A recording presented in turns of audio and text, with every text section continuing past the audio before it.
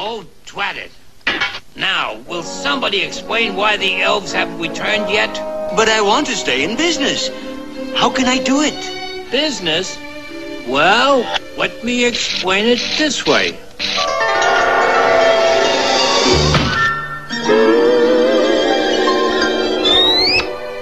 A manufacturer who sticks to old equipment cannot compete and must fail.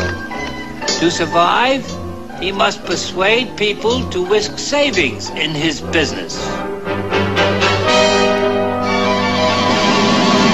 He can then buy new equipment, increase production, and show a profit.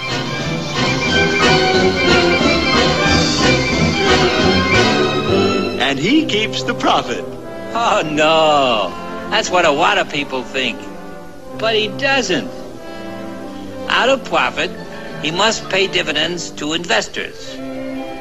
Profit must be put back into the business to buy newer and better machinery.